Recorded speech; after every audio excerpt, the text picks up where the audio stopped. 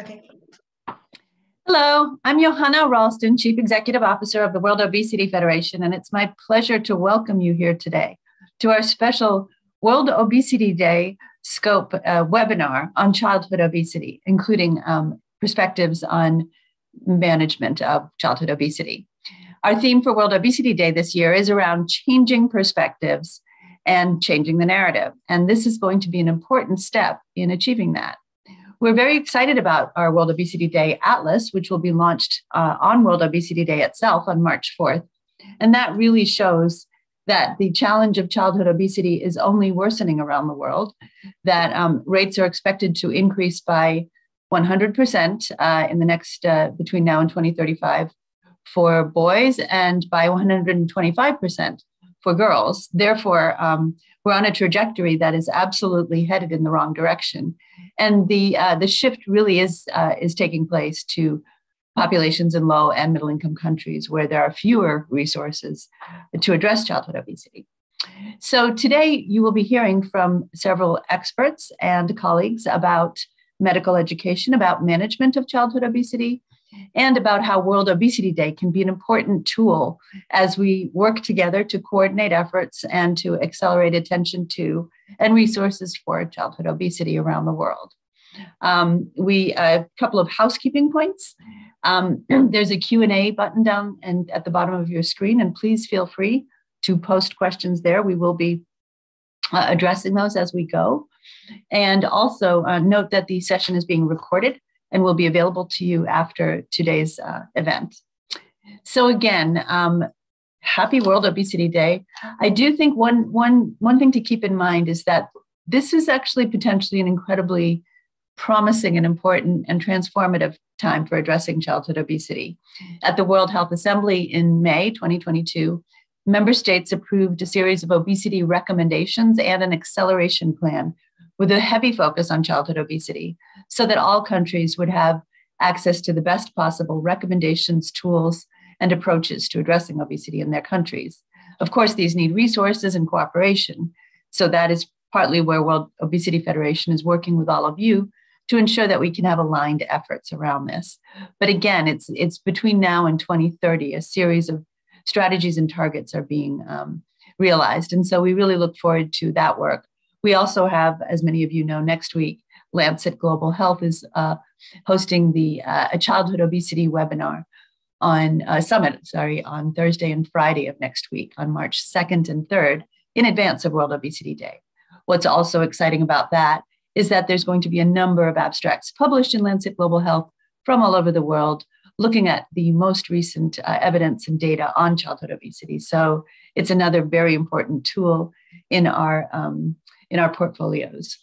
And we are really excited that we also partner closely with UNICEF and other organizations that are committed to addressing childhood obesity around the world. So, without further ado, I'm very pleased to welcome the uh, co chair of the World Obesity Federation Clinical Care Committee and an expert on childhood obesity in her own right from France, Professor Marie Laure Frelut. Marie Laure? You're muted, Marie Laure. Can we unmute you? Okay. Is it fine? Okay. Good. Is it okay for? Okay. It's good. It's fine. Yes, that's fine, Laura. Okay, so hi everybody. I'm extremely pleased today to be given the opportunity to present to you this very hot topic for which I've been working since many years and which is uh, worsening around the world. So we have really to understand into depth how and why it develops. And what I'm trying to do is to share with you the last knowledge we have about this and the last understanding we have in order to try to manage and protect children. So let's go. Um, so I'm a pediatrician, of course, and uh, I've been spending a lot of time um, starting with the European Childhood Obesity Group and now with the World Obesity Federation, thinking about these topics with my colleagues all around the world. So what we are going to discuss about is the epidemiological evidence and then so, some specific topics related to childhood obesity, early biological factors, the role of early lifestyle patterns, complications which are silent at the beginning, the psychological burden it is already for young children, and how to win in order to lose so that we get uh, early action and support to offer to these young people. So the epidemiological evidence has grown over years. And when you look at this map, you can be really afraid of looking at what was the situation in the 60s, last century, where, when virtually no child at all was obese in this world. And if you go around the years, if you pass across different uh, time period of time, you see where we are right now in the uh, in the worst situation where in some parts of the world children the proportion of children with obesity is above 40% of the population and then virtually all the world is concerned with this problem so we we estimate now that over four nearly 400 millions of children have above five years old have facing the problem of obesity, while already nearly 40 million below five years of age have got this uh, terrible disease which is developing. So a problem you have to keep in mind in uh, regarding childhood obesity is that it may be associated to the classical malnutrition, which meant that uh, um, even if children were not so much deprived of calories, they may be deprived of essential vitamins and nutrients, so that you may have a combination in the same countries of classically undernourished children and children with obesity but with a poor nutritional status. And this has to be really examined into detail when you face a local situation. So why should we look at the dynamic of childhood obesity with different eyes than we do for adults? Well, the answer is quite simple. It's because children are growing and because the process of obesity is a very dynamic one. So in order to state whether a child is obese or not, or what the level is at a population uh, level, we have to use growth charts which and help us to understand the dynamic within a given child, to assess the degree according to age and sex, to compare weight and height velocity, and I'll show you some example of that. Growth charts also allow to suggest specific causes in children, and of course, will be supports in order to define therapeutic goals and for public health workers to define which level of success you would like to reach. So let's have a look at a, a, a, an example of growth chart. Here on this screen, you see on the uh, left part, a chart for a child with where you see the, the height. So this child is growing on the median uh, curve for height. And you see that step by step, his weight has been growing. And this classical model is model of for obesity of mild level, but in which we are often failing to identify some specific cause. And on the left, on the right of the screen, you see the BMI for age and you see how step by step the BMI of this child has not decreased as expected around the age of two, but is still developing so that the child is really uh, worsening and the situation is worsening. What we call the obesity rebound has not taken place in this young child. Let's have a look at at the next slide. So early risk factors are something also is something also very specific to children. The risk for a child to become obese does not start on the day of his birth. It starts during his mother's pregnancy because he is inheriting the um, biological background of the mother and the biological background, especially during obesity. So during pregnancy, obesity in the mother, excessive weight gain during pregnancy, even if the mother did not have obesity at the beginning of the pregnancy, gestational diabetes, in other words, the presence of a insulin resistance and intrauterine growth retardation are for sure high risk factors for these babies.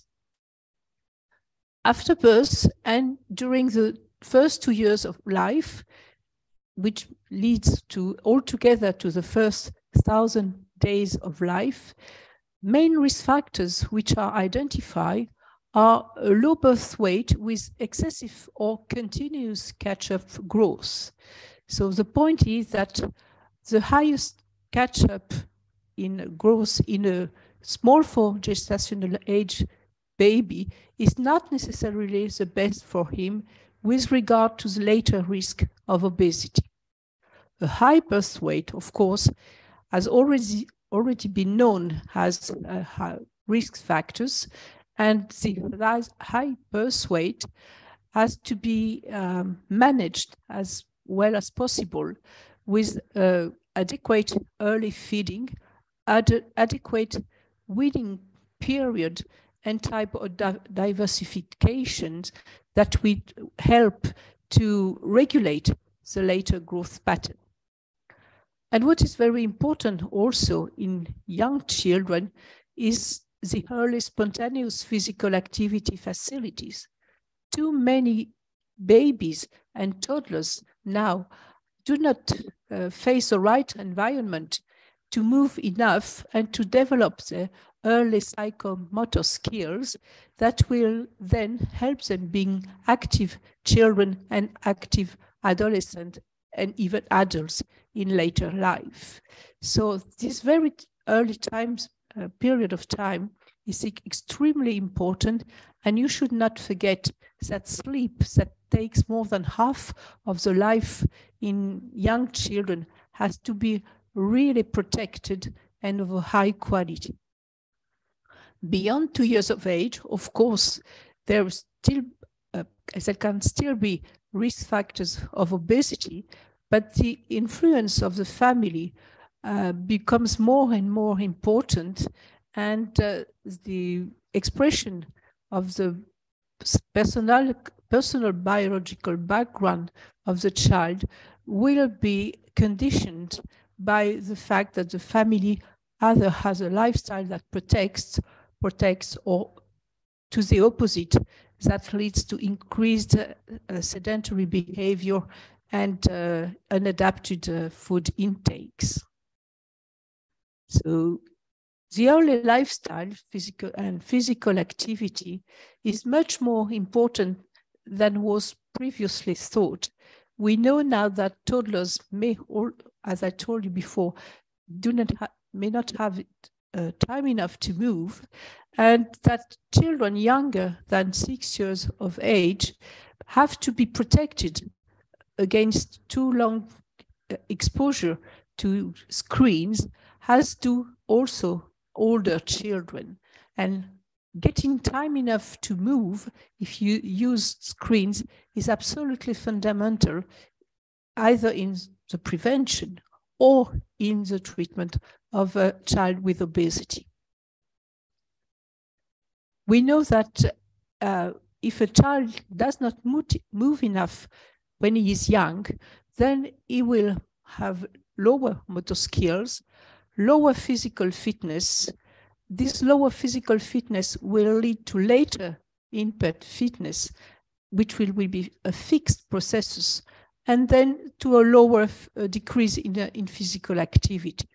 And when you look at this map around the world, you can only be stricken by the number of adolescents who are around the world performing less than 60 minutes of moderate to vigorous intensity activity daily, which should be the rule for them in order to be healthy and to be fit.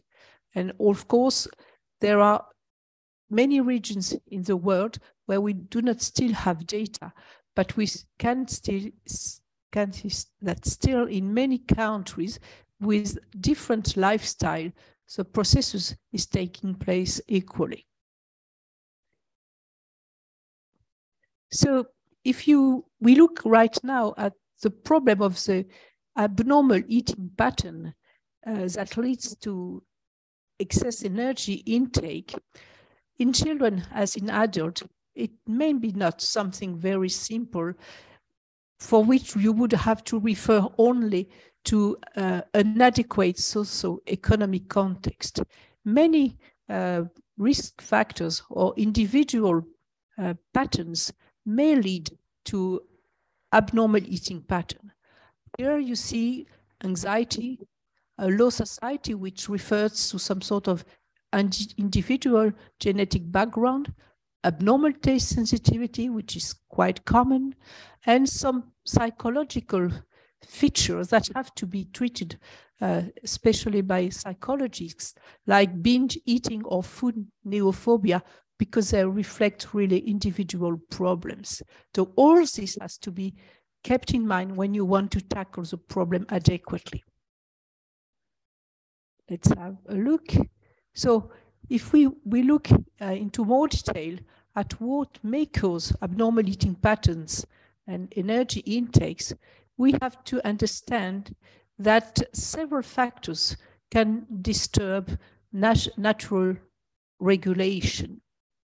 And the perception related to food do not is not are not based only to by hunger, but also by the capability to feel satiety, to desire some food, or to enjoy eating.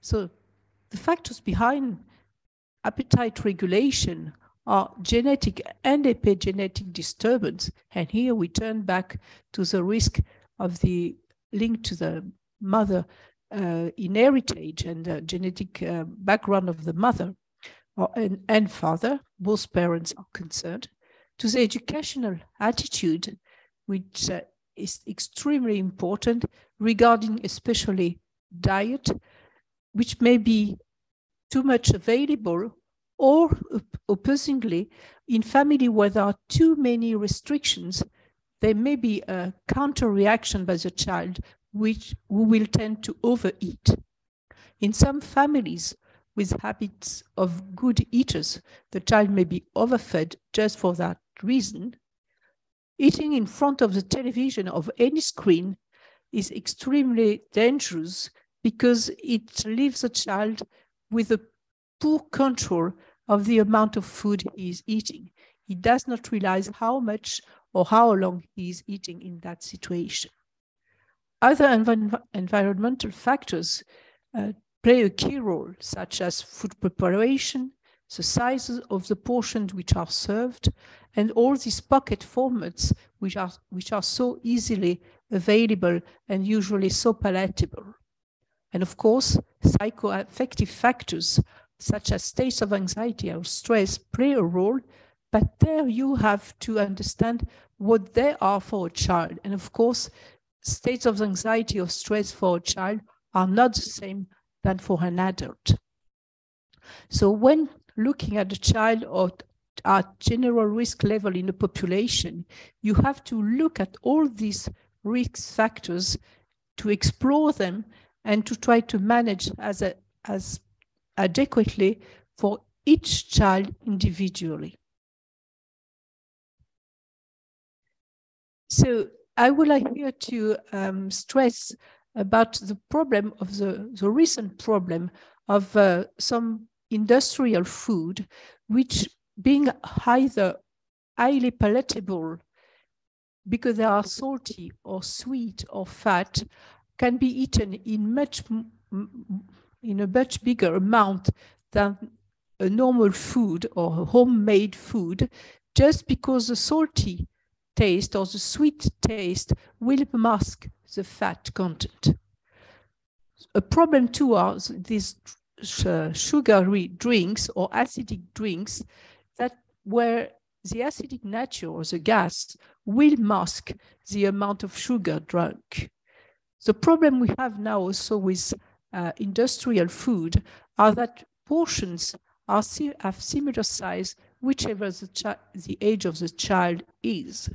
They are round the day accessible, and of course, there are very often high pressure to eat from adverse and pairs.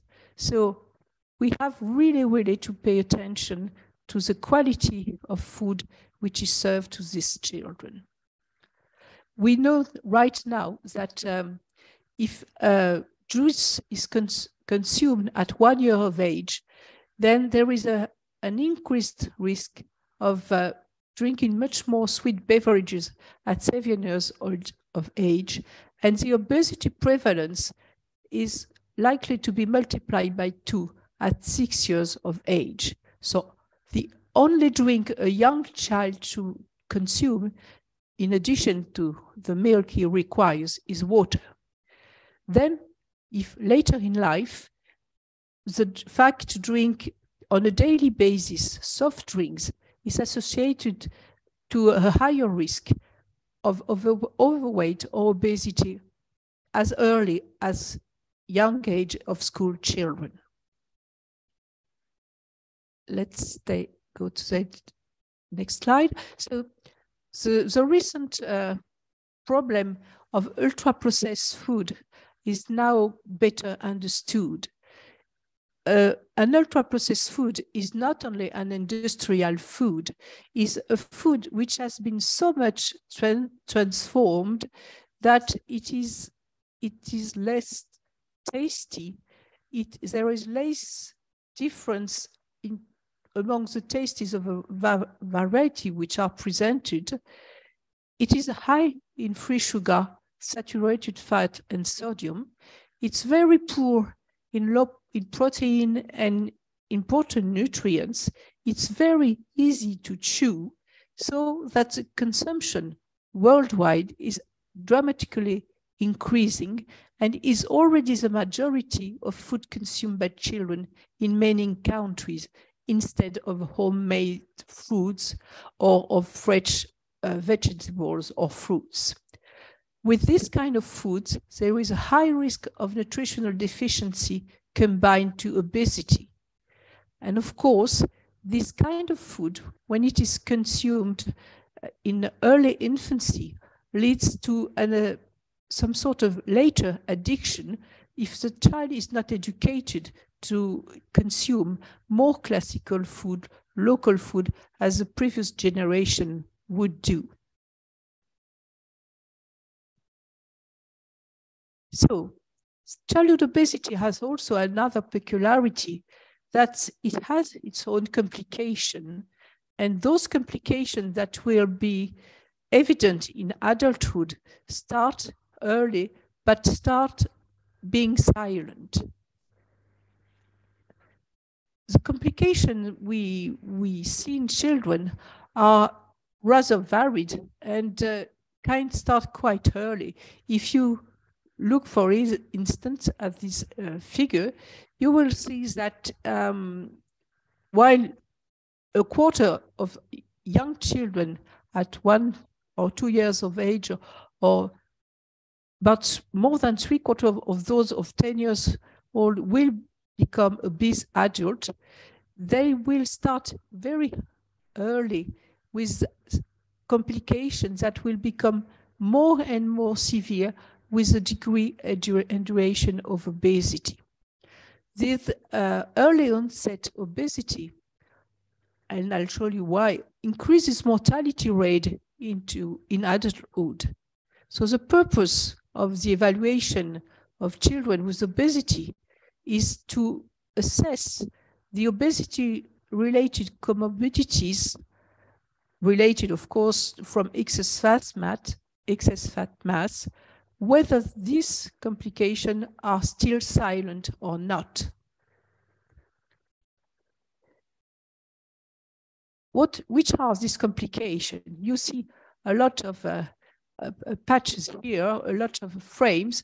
So you can find here complications you have already heard about uh, for adults, metabolic and cardiovascular complication, liver complication with a non-alcoholic fatty liver disease that may start very early, respiratory disease, musculoskeletal disease, which in children means mainly pain and difficulty, in difficulty to move, endocrine complications, which are mostly silent, but anyway starting.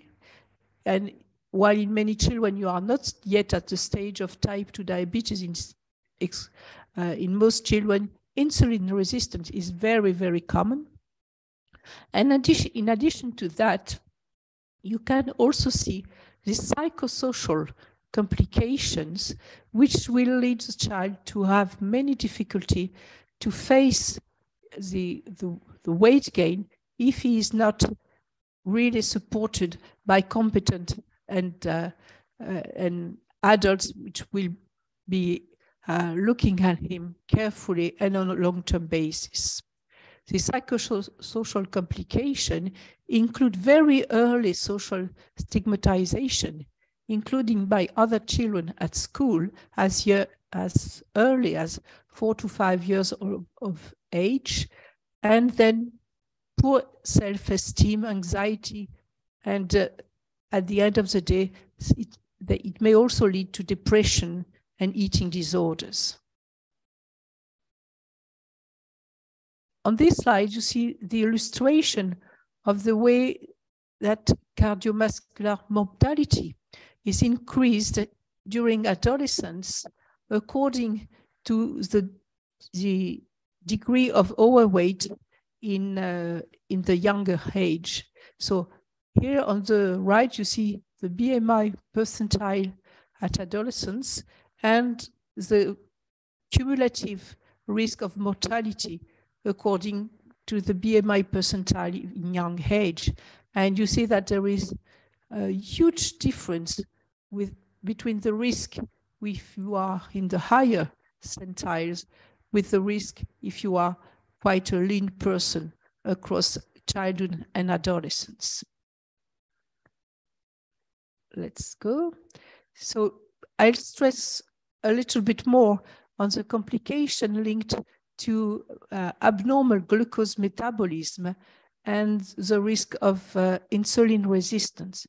Before diabetes, the insulin resistance is the key element that will enhance or give birth to the metabolic syndrome.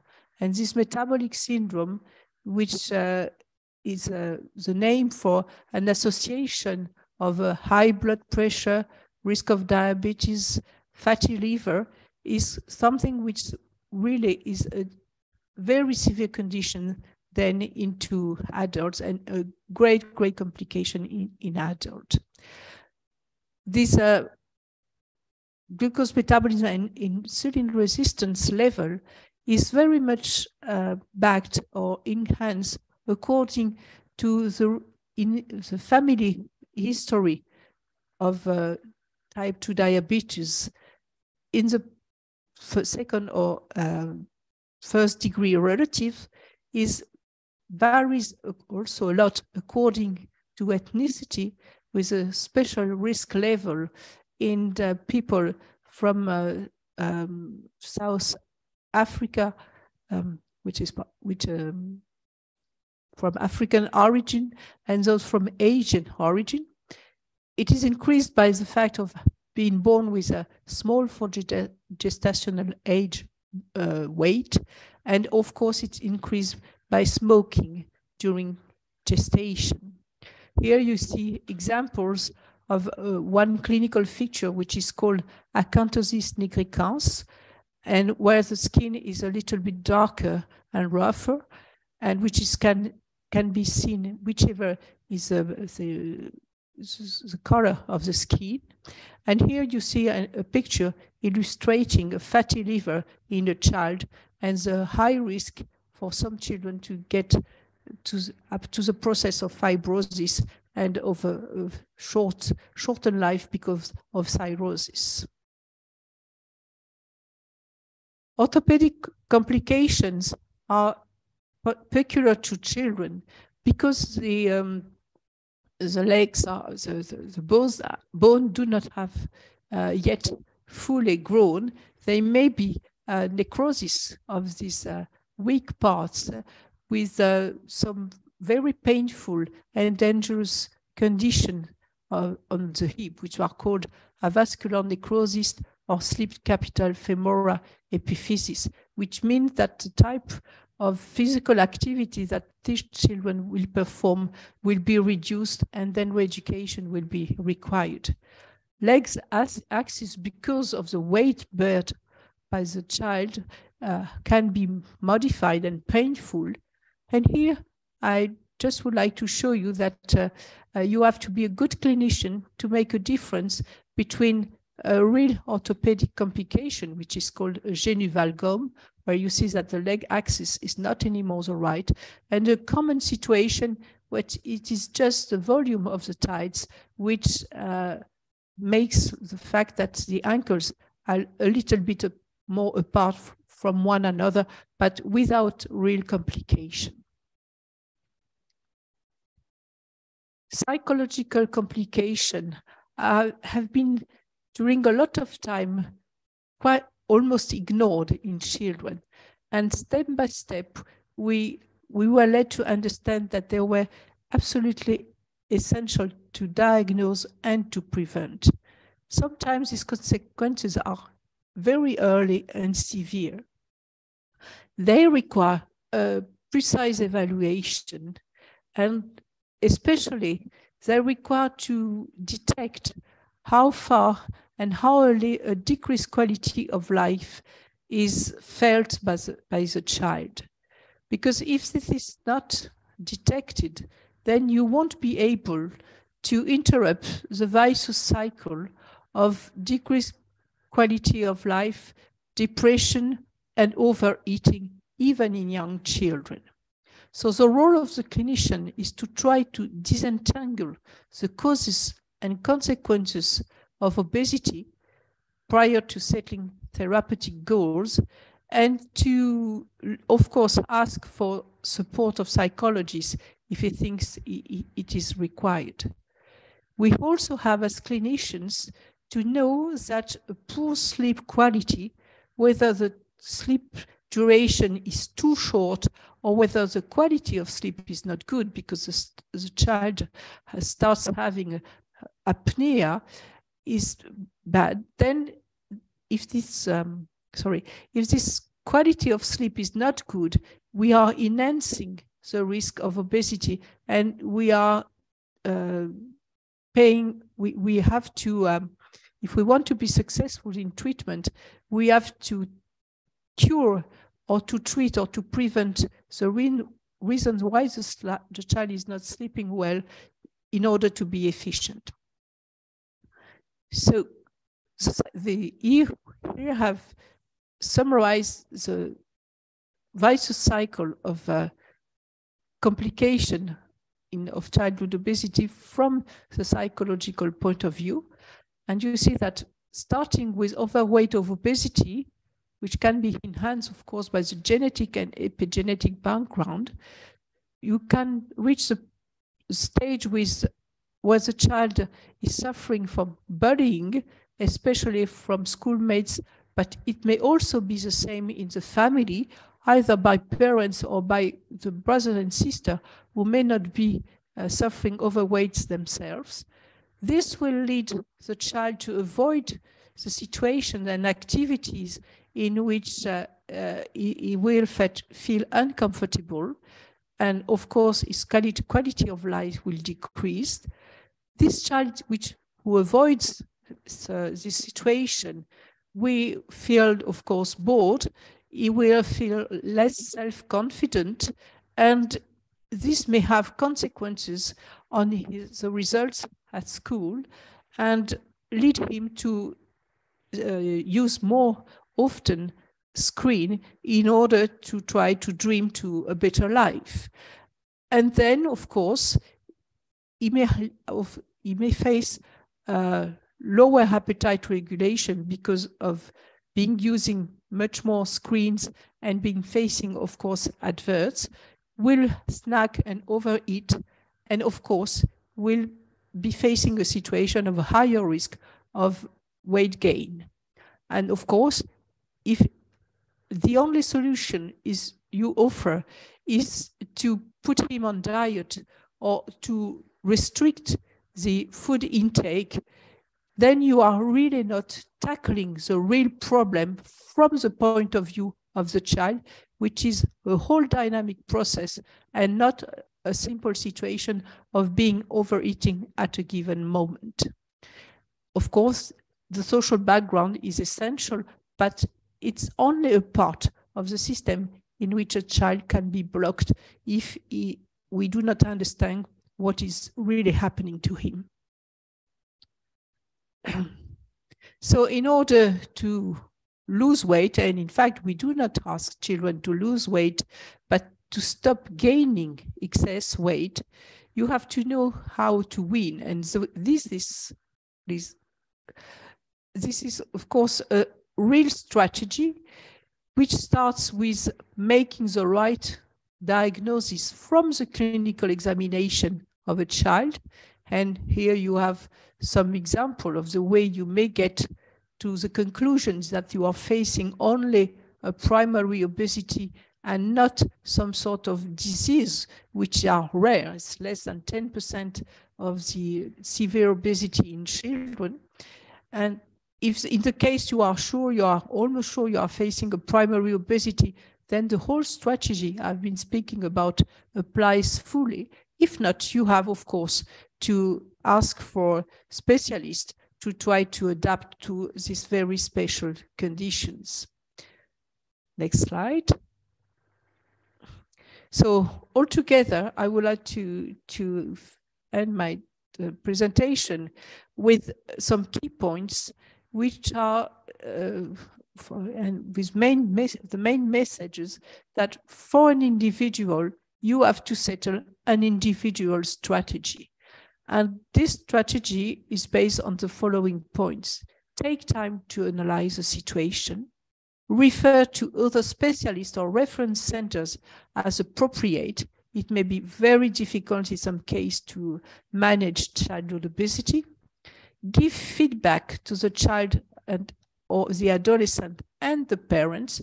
It's a, a difficult process, as you understand it. Everyone may have a role, a precise role in the within a, a family. So all this has to be fully understood by the child and the adolescent.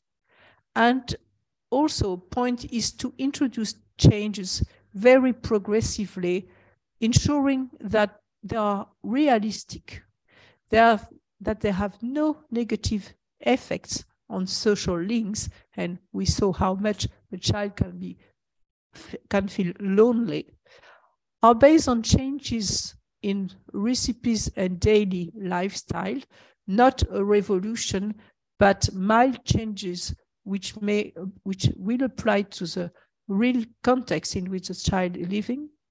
You have to respect the family culture as much as possible. And of course, in most of many countries in the world, you have to take seasonality into account.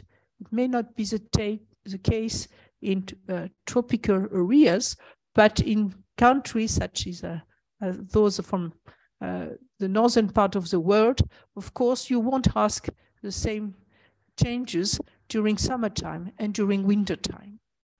And a very important point in children is not to assign a weight, a precise weight objective, but rather different uh, present lifestyle goals that in turn will lead to limiting weight gain and because growth is still going on to lead to a lower BMI because the child will be growing without gaining weight or with losing a little bit of weight.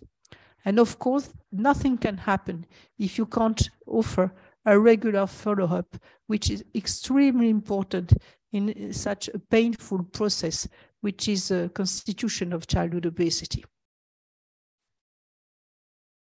So this was uh, the main points I wanted to to uh, to offer you to present you. There are the results of my own experience and of my colleagues' thoughts and experience, and I hope they will help you And I'm here now to try to answer your questions. Thank you so much. Um, may I just pose one question that was in the uh, Q&A section? Um, uh, for that, thank you so much for that excellent uh, presentation. It says my voice is not audible. Can you hear me, Marie-Laure? Very well. Okay, good. All right. Um, babies aged 16 months with a body weight of 27 kilograms from the, were from the start not given exclusive breastfeeding due to the health conditions of their mothers who had biliary disease. So they were not able to provide exclusive breastfeeding.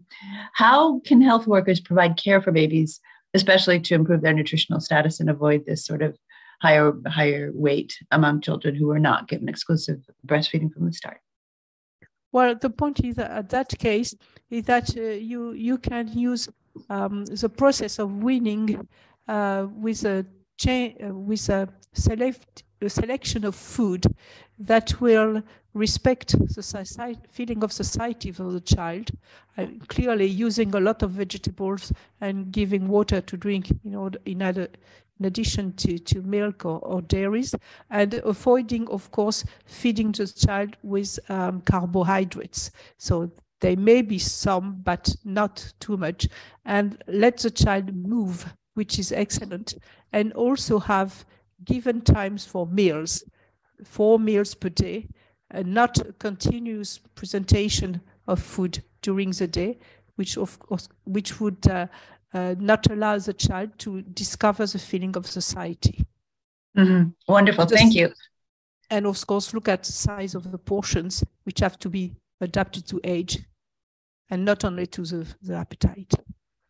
Good. So one one more question, and then I'll I'll need to um to shift to the next speaker. But uh, what is the target weight loss for children like an adult? So sort of adults at seven to ten percent, uh, for example. What what would you say is target weight loss for children, or is it non-weight regain, as you said at the end of your most no, it's uh, in, child, in, in children the, when the child is an old adolescent of course we we, we tend to to to shift to adults uh, uh, goals but um, in children, the, the point is to help them grow without gaining more weight. Correct. And, okay. and feeling more comfortable with their body. We have a few more questions, but what I'd like to uh, defer them till a little bit later so that we can um, uh, we can go on to the next section and then we'll have some time just before the end. I'm uh, delighted to introduce Shubo Saiful, who is our uh, uh, Manager of Education for World Obesity Federation. Thank you, Marie-Laure, and please stay on and uh, and and uh, so we can um, have you answer questions at the end. Thanks. Thank you, Johanna. Um, can you can you see my screen? Thank you. So um, today my presentation will be talking, uh, discussing about the importance of medical education to empower healthcare professionals. Second. Um, so um, second. Um, so in my role as education and projects manager, I support the administration, planning, and uh, enhancement and delivery of the organization education program scope and the e-learning platform as well. Um, so today I'll just give you a brief overview of why, uh, why medical ed education is important on childhood obesity and why we need to address this. As Marie-Laure has explained in a presentation, um, uh, as of 2022, we uh, 340 million people of the world's population aged 5 to 19 years old are affected by overweight obesity. Uh, the World Obesity Federation has projected that this specific bracket by two, 2025 uh, will be um, uh, will reach 11%, and this has um, this has different health impacts, such as uh, uh, that can contribute to conditions such as type 2 diabetes, cardiovascular disease, respiratory problems, joint problems, mental and social well-being as well to be affected.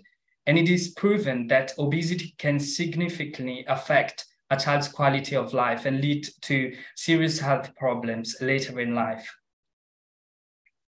So in this slide, I just show some of the research that we have up there. Um, one research says how healthcare providers often lack knowledge, skills, and resources to effectively manage childhood obesity.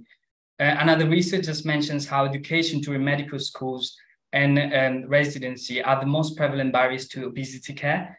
And another study just highlights and enhances the, this, first study that we mentioned, how um, pediatric residents' knowledge and attitudes towards childhood obesity uh, they often lacked confidence and skill to manage uh, childhood obesity.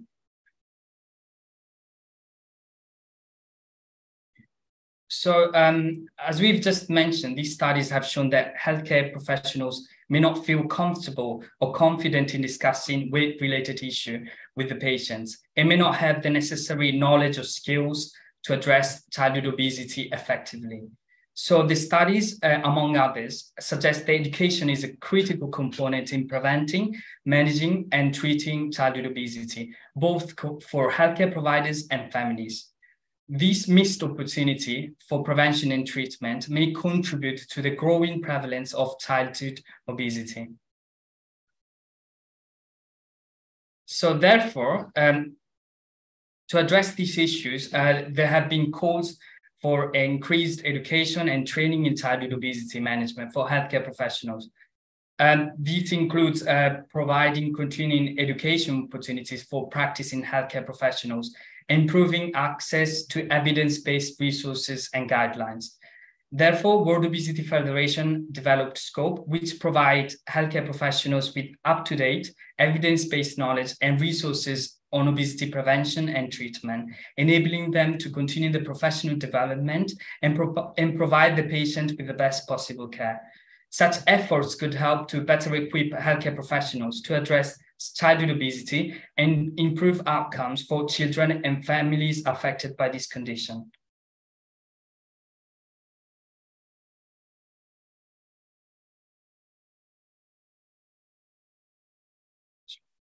Um, so in this slide, um, I just mentioned, um, I just give um, an overview of how SCOPE add values to obesity practice.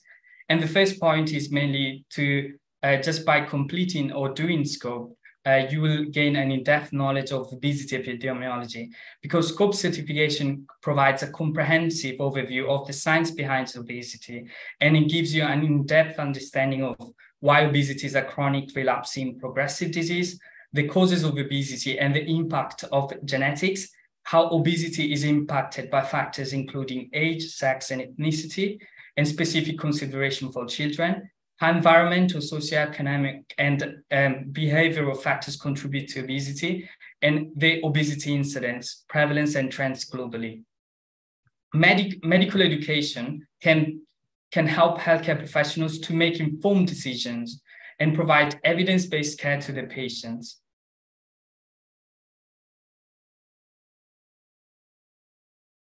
So in the, the, next slide, I just in this slide, I just mentioned how uh, developing just by uh, doing uh, medical education in obesity management can can help you to to um, to develop some skills in obesity management. And uh, these these are some skills that we mentioned but they're not limited to um, for children and adolescents uh, that just by completing scope you'll be able to take a comprehensive obesity fo focused medical history um, you'll be able to um, uh, use a nutritional and behavioral intervention to develop a personalized obesity management care plan. And you'll be able to apply clinical, uh, clinical reasoning skills when interpreting tests. And, and as well as that, you'll be, um, you'll be able to have this inter, uh, this interdisciplinary collaboration where, um, where among healthcare professionals such as pediatrician, dietitian, and physical therapist. And this can lead to a more comprehensive approach to managing uh, childhood obesity.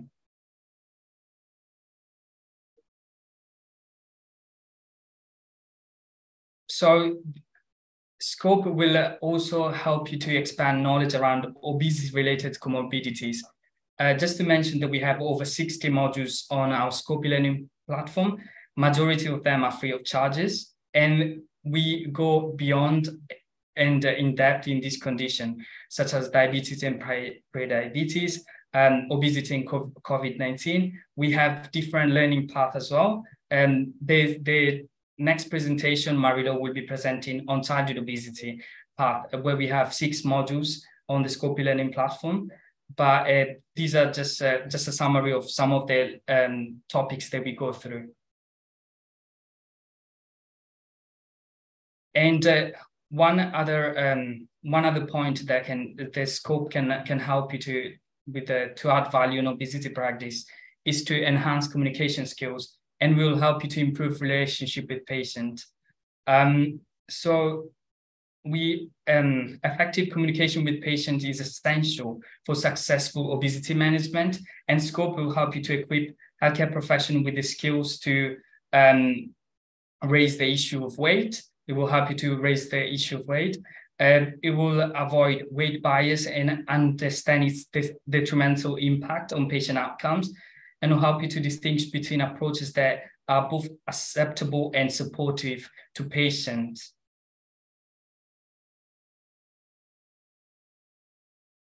Sorry. Um, so in summary, medical education in obesity management can add value to obesity practice for childhood obesity by improving knowledge, confidence, skills, uh, collaboration, improve the collaboration, and as well as that as the patient outcome as well.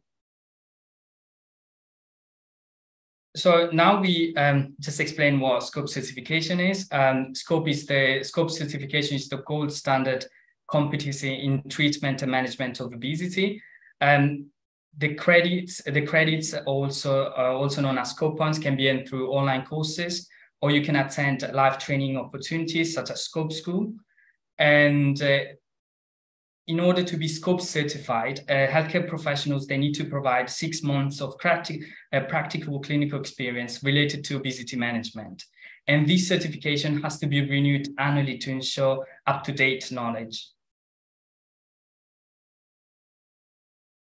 So in this slide, uh, we've just summarized some feedback that we've received from um, our core learning path.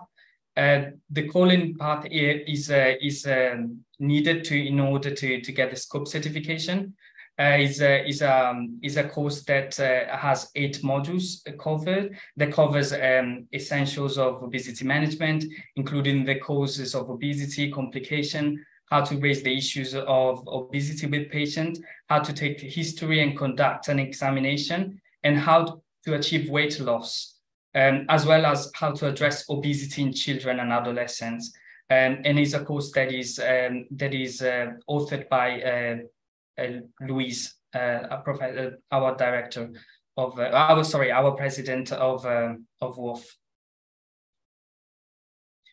So think, yes. Um, I just wanted to say that I wish you the best of luck in your obesity education. And if you have any questions or need any assistance related to obesity education or any other topics, please don't hesitate to contact us.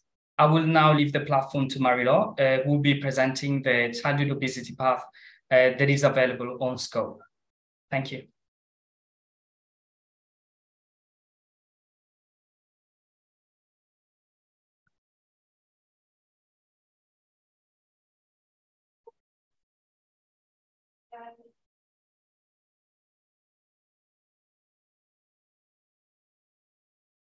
So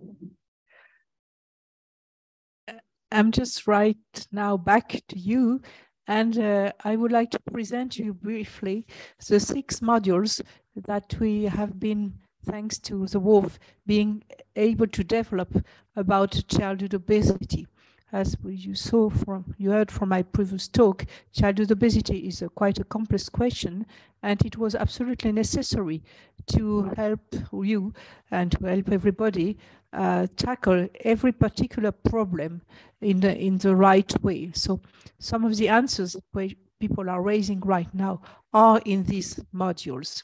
So these six modules, um, may I have the next slide, please? Uh, um, have as a, as a goal to uh, provide people with a, a comprehensive overview on uh, of how to effectively treat and manage obesity and overweight in children and adolescents. So therefore, we discuss quite a broad range of topics, including the identification of early risk factors, the impact of diet, fitness, psychological issues, also the comorbidities, and of course, the way to, to manage and to be aware of the double burden of malnutrition.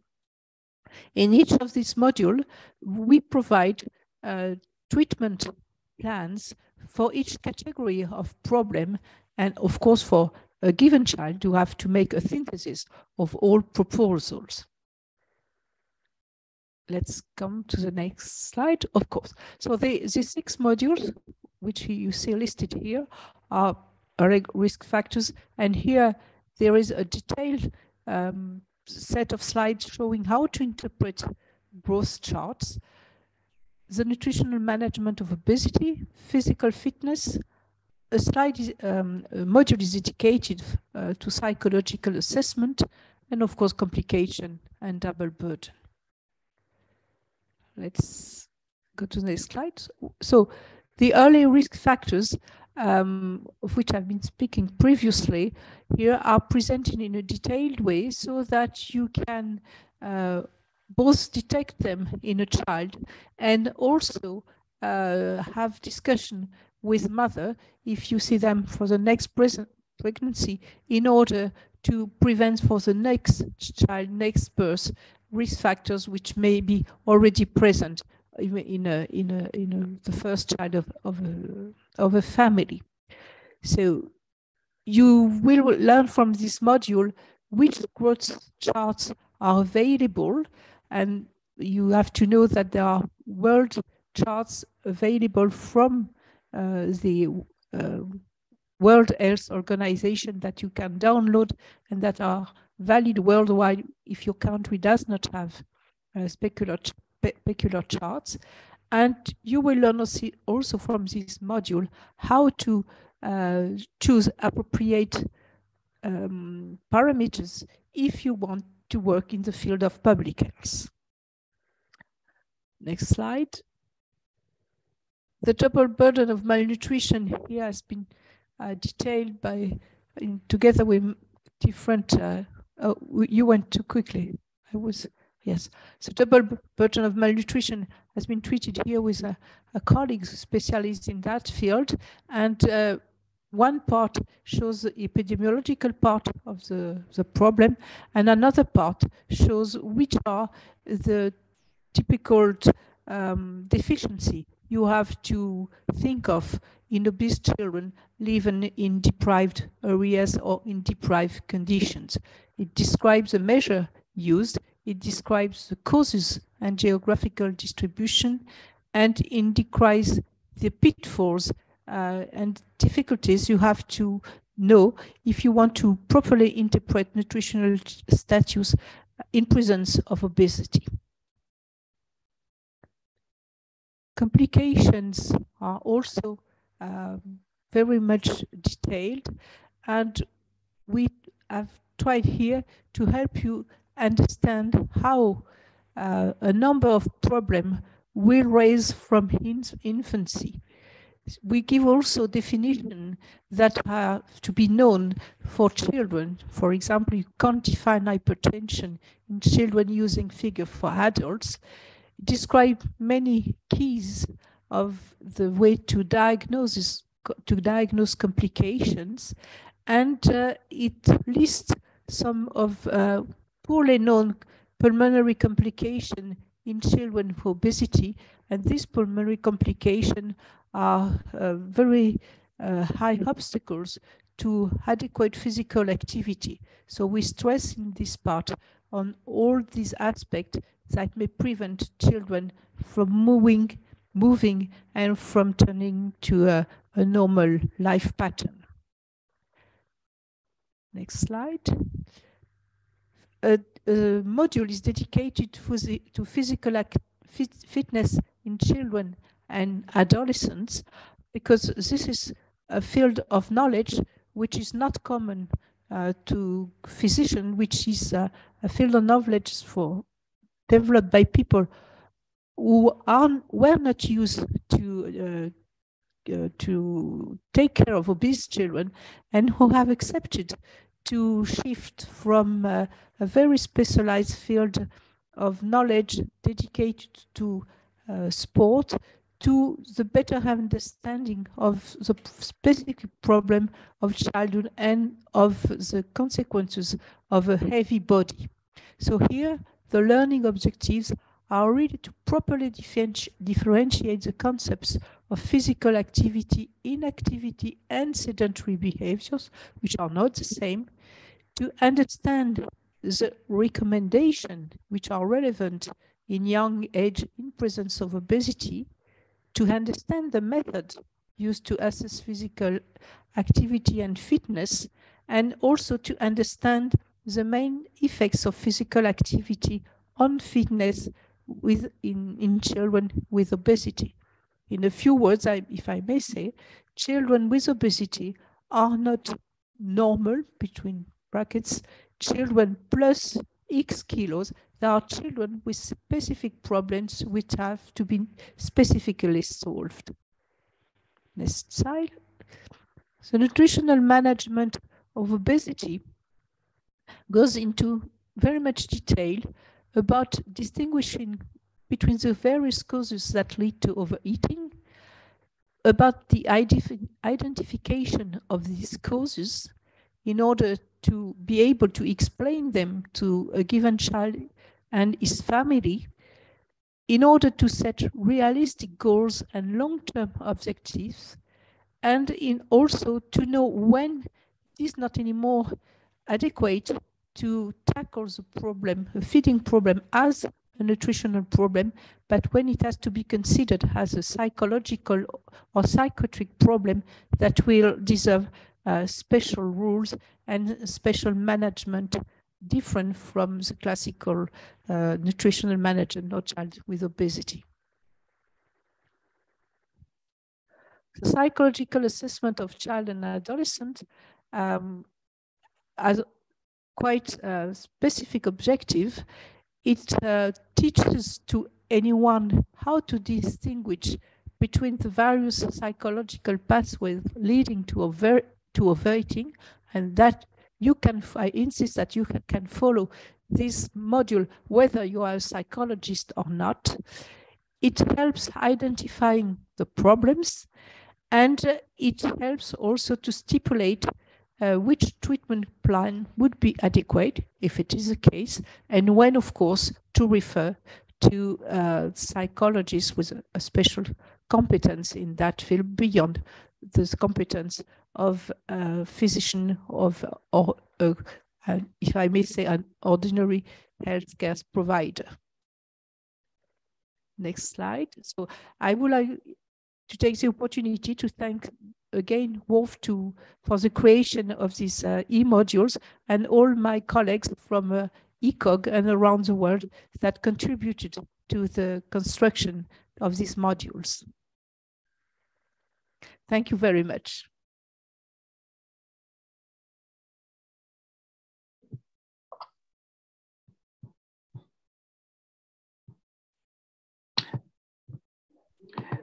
Thank you, Marie-Laure. That was excellent. And I think now we are going to um, learn more about World Obesity Day itself um, and how we take the, um, the theme of changing perspectives um, around childhood obesity and medical education.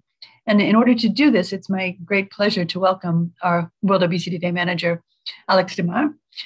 And then I would ask everybody to please continue to pose questions in the Q&A because we will then have about 10 minutes to uh, to respond to to several of them and to have a discussion. So, is Alex available? I am. Thank you. Wonderful. Good to see you. thank you so much. And thank you everybody for joining and also to Marie-Laure and Shubo for an incredible, incredible insight that you both shared with us as well. So this part, as Johanna mentioned, of the webinar will be a presentation of this year's World Obesity Day campaign uh, including the resources available to you uh, for, for you to use for your events and campaigns, and the importance of taking part and sharing stories. As Johanna mentioned, my name is Alex de Mare. I'm the Communications and Campaigns Manager, project managing World Obesity Day 2023 with World Obesity Federation as the conveners of the cause. The theme for World Obesity Day this year is Changing Perspectives, Let's Talk About Obesity. We're just over a week away from World Obesity Day itself, which is taking place on a Saturday this year, on the 4th of March. So I'd like to share more about the campaign, some data findings along the way, and how you can get involved. Following last year's Everybody Needs to Act campaign, this year's campaign highlights the power of talking, because when we talk, debate, and share, we can shift norms and transform health outcomes. Obesity is on the rise globally, with new data predicting that one in four people will be living with the disease by 2035. Despite the scale of this epidemic, efforts to address it are challenging due to misconceptions about obesity. Disparities in its perceptions have led to isolation, misunderstanding, and inconsistency in how obesity is understood and acted upon by individuals and institutions. The idea behind this year's campaign theme is to highlight the importance of having real conversations to help correct misconceptions around obesity and end stigmas in an attempt to shift from individual views to collective strategies, from me to we. These are not easy conversations to have, but by pushing boundaries, we can make meaningful change and turn words into action, whether influencing uh, and mobilizing policy, policy initiatives or upending misconceptions in our everyday lives. Previous World Obesity Days have encouraged people to recognize the root causes of obesity, increase knowledge of the disease, tackle weight stigma, foreground the voices of people with lived experience and act to improve the world's understanding, prevention, and treatment of obesity. With this year's campaign, we want to harness the power of conversation and stories so that together we can correct misconceptions surrounding obesity and take effective collective action, changing perspectives. We have created a range of assets, all available on the resources page of the World Obesity Day website, from social media posts and printable poster designs to Zoom backgrounds, and an array of icons and logos. We have a brand book and campaign toolkit with all the tools that you need for your campaign, as well as providing you with important obesity infographics and fact sheets. These are all currently available on the resources section of the World Obesity Day website, all ready to go with top level campaign messaging and publicly available to print, download, and share. In addition to the WOD specific resources, we also have a range of additional resources available to you all year round. The Global Obesity Observatory is a fantastic resource for you to find extensive data on general prevalence, policy development, examples of interventions at local and national level, and more for around 200 countries. On the homepage of the observatory website, there's a handy instruction tutorial video to guide you through how to navigate it. We've been collating data for over 20 years, and you can browse the interactive map, presentation graphics, data tables, publications, and more using the observatory. This year, our main call to action is a deck of conversation cards to use as prompts when having important discussions around obesity.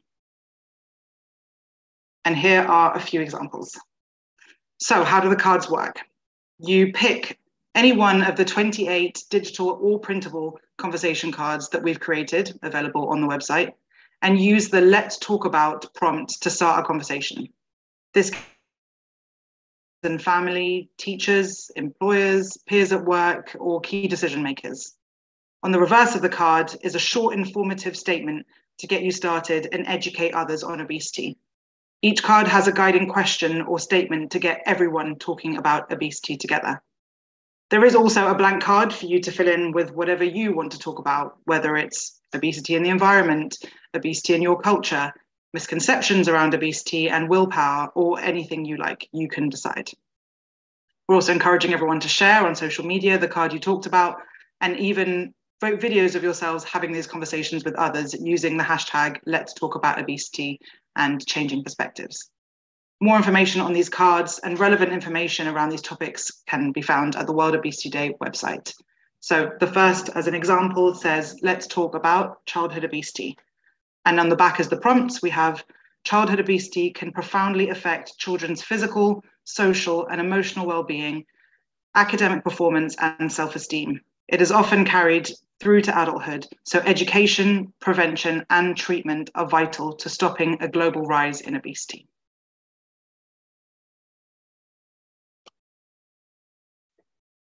There is a whole range of ways to get involved and help change perspectives on World Obesity, Day this year and beyond. At the moment, 42% of patients are uncomfortable discussing weight with their doctor. Patients living with obesity routinely face stigma and struggle to access support. This is why effective people centered treatment and prevention is so important. We have a wide range of resources on the healthcare professionals page of the World Obesity Day website, where which you which can help you to speak openly with patients whilst being sensitive to their potential discomfort and making sure the space for people to discuss their personal experiences and goals is being provided. From information on using people first language to a recommended list of do's and don'ts of how to start a conversation about weight. How can you get involved? You can share your story with us anyone can submit a story. It can be a personal story of something that you have done to address obesity or a story of a project that you've worked on with an organization or group. If you've done something that you want to share, we want to hear about it. The more healthcare professionals understand obesity, the better. So, why not organize an event with your peers?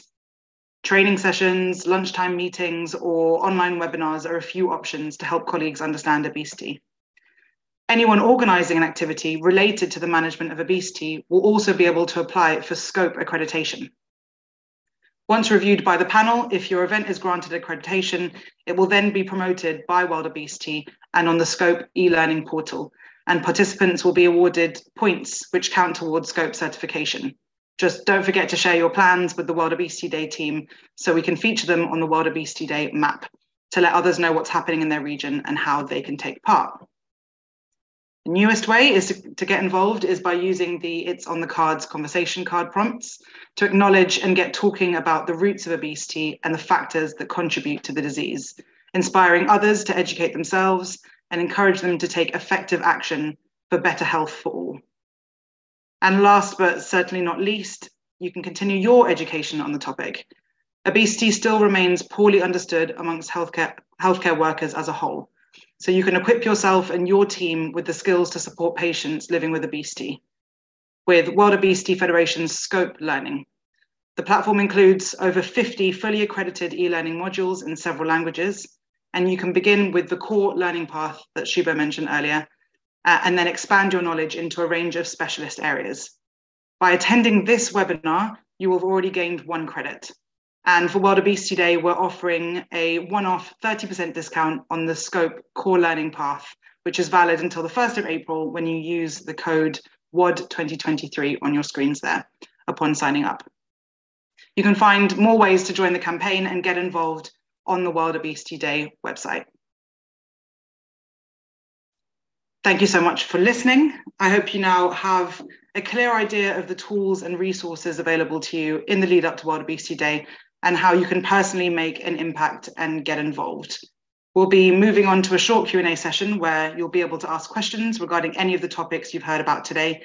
Uh, I've also shared on screen here the World Obesity Day email address. So if any questions regarding World Obesity Day aren't able to be answered uh, within this webinar, then please do get in contact and I'll be glad to help. Thank you so much, Alex. That was fantastic. And um, I would like, um, if Marie-Laure could also turn on her uh, screen camera, um, we will have time for some questions and Shubo as well. Um, actually, one practical one is how one person asked at the very end, how can I share the event that I am arranging for World Obesity Day? Uh, do you want to just kind of uh, explain that again or explain that? Um, Absolutely. Yeah, there are, there are many ways to do it. Um, on the World Obesity Day website itself, you'll see towards the right of the menu bar, you'll see um, a little tab called WOD Map. And you can click on there. And if you scroll down, there is a little button that you can press that says share your event. It will bring up a form. You put in your details, make sure to remember a photo, uh, and that will come straight through to us. Alternatively, feel free to use that World Obesity Day, which is WOD at worldobesity.org email address send us any details and we can we can pop that onto the website for you thank you and again photos, photos, photos. A, a, picture tells a thousand words. We love the photos. They're so inspiring. There's such a you know mechanism for bonding with one another. And please use the cards. We uh, we're really excited about them, and we want to um, we want to generate really interesting, provocative conversations because that is uh, in in a somewhat polarized world. That is how we're going to get beyond where we've been on this, and uh, and realize so much of the problem is not uh, medicine or food, but it's talking and changing perceptions and hearts and minds. Marie-Laure, there was there was a few questions for you. Could you first tell us a little bit more specifically about the relationship between maternal breastfeeding and childhood obesity? Well, um, maternal breastfeeding is uh, quite protective against uh, obesity until the age of two years of uh, two, two, years of life, and uh, it's not an absolute protection and uh, it decreases the risk of obesity by about 20% uh, altogether, said. Some breastfed baby, babies tend to be fatter in the very first month, but then they, they will turn back to lean toddlers. So there is no problem if they're a little bit fat while exclusively breastfed. Can you tell us a little bit also the normal uh, BMI range for, for pediatrics in, in the pediatrics? Um, so there are no normal BMI ranges for children.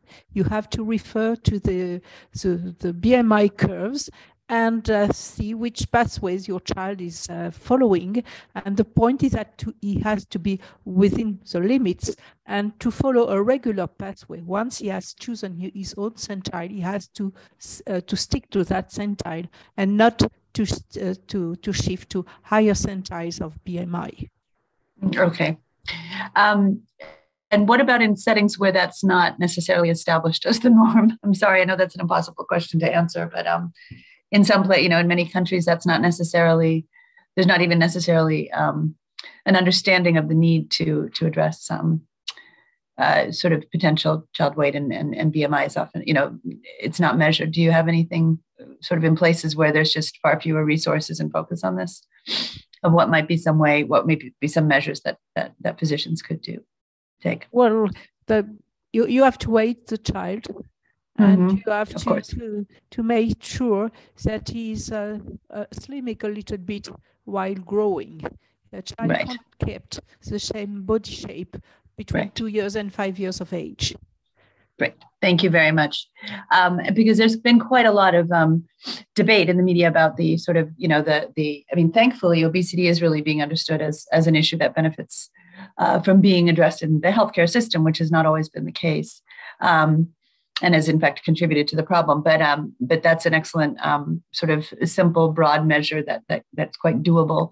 Um, one question was around what is your opinion uh, about GLP-1 inhibitor use in children. So, um, and again, around that, that, there's been a number of European countries this year that have approved it for 12 years and up, and some are on uh, on track to actually start at age six. Would be interested to hear your response to that. Well, we, we are happy that for uh, the cases of severe obesity, of or obesities with proven genetic uh, disorder, to have some tools other than bariatric surgery to offer uh, at adolescents or beyond adolescents. There is no indication for GLP-1 agonist in other cases so far in childhood obesity. Great. Um, so Shubo, I have a question for you around primary care. Sorry, I didn't mean to put you on the spot there, but if you're if you're there, um, do you do you see um, scope being um, useful to physicians in primary care, especially in places where uh, there's much less recognition of and understanding of obesity. So it might not, you might not necessarily even have a huge population of sort of endocrinologists who could, who might know something about it. Thank you for the question. So we have uh, on scope, we have uh, courses that are targeting primary care physicians. Mm-hmm.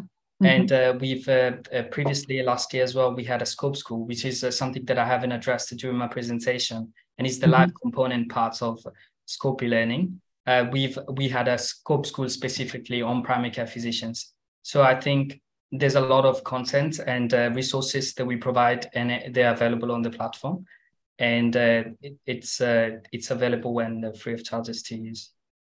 And there, is it available in more than English? I just can you remind me? Yes, it is available in English, uh, Spanish, uh, Portuguese, and French. Excellent. That's great. That's great. Wonderful. Um, we're we're so excited to be having um, materials offered in multiple languages, and we're we're right now in the process of getting lots of materials operated uh, um, translated into for World Obesity Day, translated into even Arabic and Chinese, so that we can really, really have a truly global movement. Um, so, Marie-Laure, back to you. Um, can you tell me a little bit in the UK clinical setting whether it would be the child with obesity? Would it be the GP or the endocrinologist who would who would deal with the child, who would address the child? I think that the GP, G, GP is the first person uh, mm-hmm. that knows the children, the family, and yep. all the background. So he's surely the person to, uh, to, to has to deal with the problem first, and he has to refer to the endocrinologist if he thinks there is a, this is a peculiar form of obesity. Great, thank you. There was um, there was how much time would you allow for for sort of a, a GP or sort of how will time allow for a GP to deal with weight issues given how busy the demands on their time and, and how might you advise around that? Trying to be well, pragmatic with the, the kind of time that they have. I think when a problem is complex, you should not try to um, to tackle everything during the same consultation. You have to go step by step and see the patient again, fixing the next object, the objective of the next next consultation, uh, with parents bringing more information uh, by the according to the consultation, so that you can really build up some sort of uh, uh, individual understanding and perspective. Great, thanks. There was another specific question um, about how long can GLP-1 inhibitors be used? Uh, sorry? How long can we use GLP-1? GLP-1, so so some of the new medicines, the new pharmacotherapies. Well, so far nobody knows. we know. Uh, yeah. there, there is a shift. We know, uh, you know, in the in the way we are considering obesity. Um, obesity is not anymore considered as disease for which after a, few, a, while the patient has to stop the treatment and be on his own and uh, fail or, or, or, win it has it is now considered as a chronic disease and mm-hmm. for chronic disease you may uh, provide a drug on a on a long-term basis as long as the patient requires it mm-hmm. absolutely now, here's an interesting question from the Philippines, where there is definitely significant race, rates of childhood obesity as well as adult obesity. Uh, does one need to be a pediatrician to manage pediatric obesity patients, pediatric patients with obesity? Uh, this individual is an internship practicing obesity medicine in the Philippines and hesitant to uh, handle obesity among uh, pediatric patients as opposed to just adult patients. It's not a matter of being a pediatrician, it's a matter of understanding children. So uh-huh. This is not a privilege of pediatricians. This is a privilege of anybody who re- really uh, makes the effort to know about the way a child develops and things and what is interesting from the perspective of the child. Thank you. Yes, and, and we we we're very proud and, and thanks to, to, to your leadership and expertise that um again, the core learning path on, on childhood obesity that, that SCOPE offers is an important uh, set of foundational principles that, that, that can really be supportive. And then we, we, uh, we like to, you know, we're aware that there's networks of mutually supportive um, uh, physicians uh, communicating with each other around the world because obesity is, is, is so new to many health systems. And again, it's only this since uh, less than a year that WHO really, that ICD 11 went into effect that really acknowledged obesity as a, as a complex multifactorial disease. So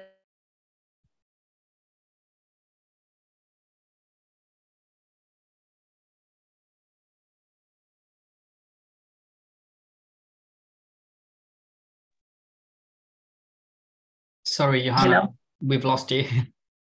Oh no. Yeah. Lost me. I think you're back now, yeah. Yeah. Okay, great. Yeah, I just got it. Your your connection is unstable. I'm in Boston where there's been a big snowstorm, so apologies. That's probably why. Um, what is the treatment for Bardet-Biedl syndrome? Well, the Bardet Beetle syndrome is a genetic syndrome which gives a new view about childhood obesity. It, it's what we mm. call a ciliopathy, which means um, a disorder of a very tiny part of, uh, within the cells.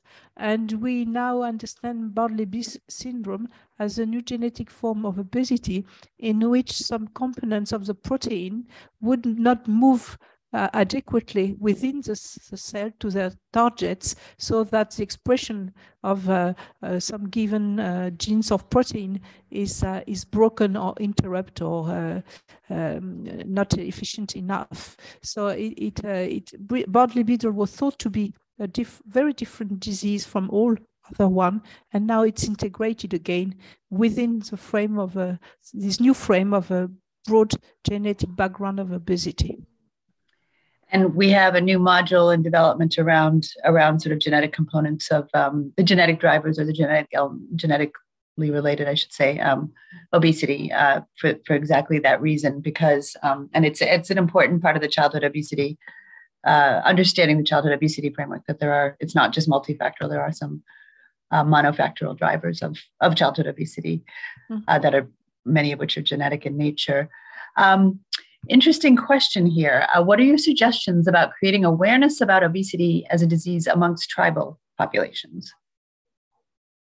Well, I, I think, uh, uh as we said previously, that we should not hurt uh, people. So the point is to um, understand what it means for them to be uh, fat, what, uh, which kind of safety uh, they feel there is if a child is, fat, is fatter uh, than another one, and then to try to uh, uh, to turn their knowledge into another one and to open their mind to another possible significance of fattening. Mm-hmm. Absolutely. So, sort of some of, addressing some of the cultural preferences that may be yes. in place for obesity as a sign of wealth or mm-hmm. or of not uh, experiencing a, a, communicable disease or, or something else. So, absolutely. Um, I think these have been really excellent questions, and we were we're absolutely happy to answer the rest of them in um, the as we follow up. Um, one final question, which is quite specific as well: How do you prepare the family to treat neophobia? And I apologize, I'm not familiar well, with that. I think we have to to hmm. distinguish. Between um, neophobia that would uh, be the, um, the index of uh, some psychological disorder of a child based of a, of, of a broader anxiety and mm-hmm. the false neophobia, which may be uh, may underline a genetic peculiar genetic profile for uh, avoiding bitter tastes, for example, from some sort which is from uh, an educational uh, basis, comes from an educational basis. So if it is um, quite common neophobia, it's normal in young children to go through a period of time where they restrict the, the, the, the, range of food they eat. And the importance right. is to insist for parents to ask the children to uh, taste at least once and then represent the food uh, sometimes later. Great. Thank you so much. Um, I think we're going to wind this down now. I think there's just one more question. I need to know by being a member of WAF, am I allowed, is a person allowed, sort of as a member of WAF, to conduct an awareness campaign as schools do not allow a single person to come to school? That's a it's a very good question. Um, I think uh, I'm not sure that a school would necessarily understand what it what it means to be a member of World Obesity Federation per se. So uh, I think Alexander is going to follow up with with a with a response on that. But in general, if there are ways to build a you know sort of do some outreach to the school and perhaps connect to if there's any health professional on site and and working with them to raise awareness about obesity because we do have uh, lots of great uh, sort of school based uh, approaches and and that that can be very useful and it's an important place to um, to uh, to be having an intervention.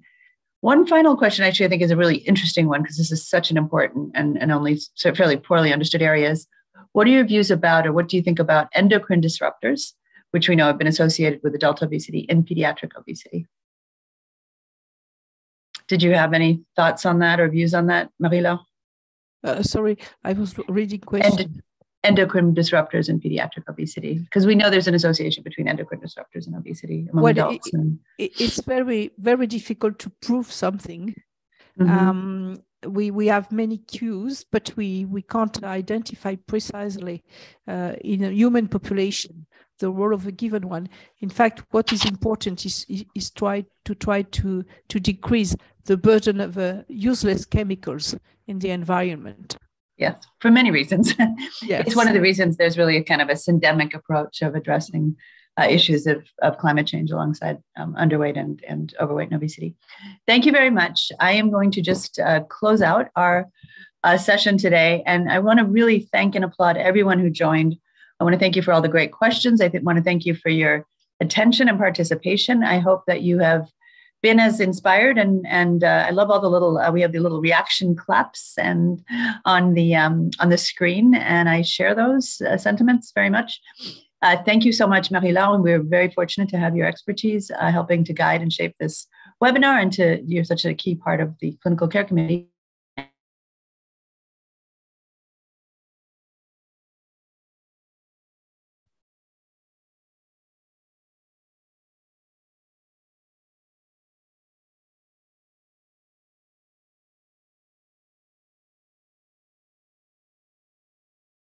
Kind of a, a crescendo, I guess, on World Obesity Day. But we're aware that there's there's different times, um, and so please go ahead um, and just come to World Obesity Day, share your plans, and uh, and then share them with us afterwards.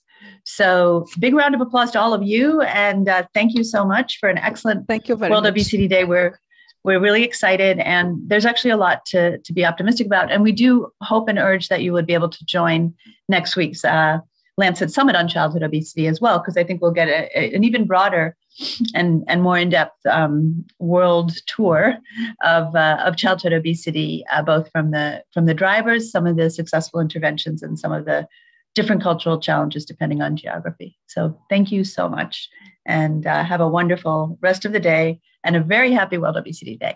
Thanks. Thank you very much.